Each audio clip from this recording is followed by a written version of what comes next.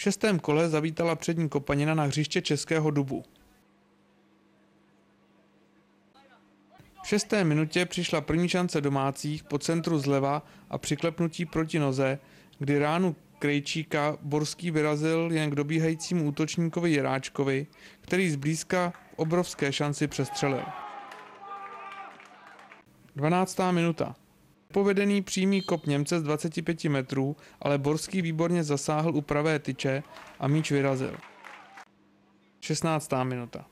Po dobře zahraném rohovém kopu střílel u zadní tyče neobsazený trepera, ale míč do branky neusměrnil. 19. minuta. Krejčík se uvolnil před pokutovým územím, ale z 20 metrů pálil nepřesně nad branku.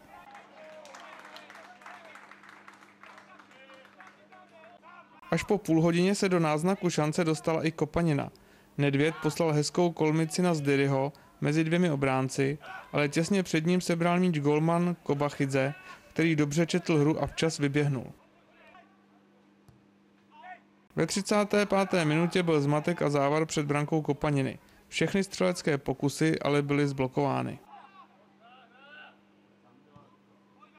Ve 36. minutě po autu z pravé strany dokázal Němec prostrčit míč mezi třemi hráči Kopaniny a po následném centru Jíra na přední tyči lehce tečoval míč do protipohybu brankáře Borského a bylo to 1-0.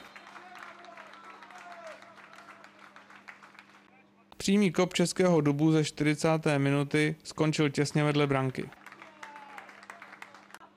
Ve 42. minutě se odrazil balon ke Zdyrimu, který zkoušel vystřelit z velké dálky.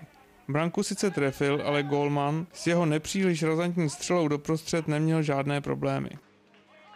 Pak přišla 50. minuta.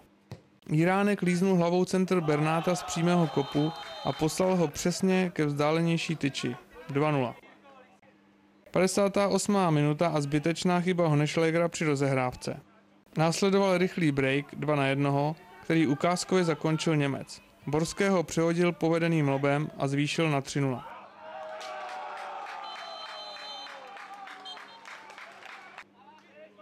V 68. minutě jsme zaznamenali ojedinělý útok Kopaniny, kdy Houška pál z levé strany, ale jeho střela neměla potřebnou razanci, takže ji utyče bez problémů lapil Golman.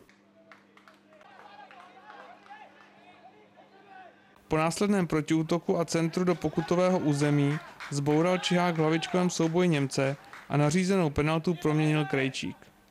Ať směr jeho střely k pravé tyči Borský vystihnul, byla velmi dobře umístěna. A bylo to 4-0. 78. minuta.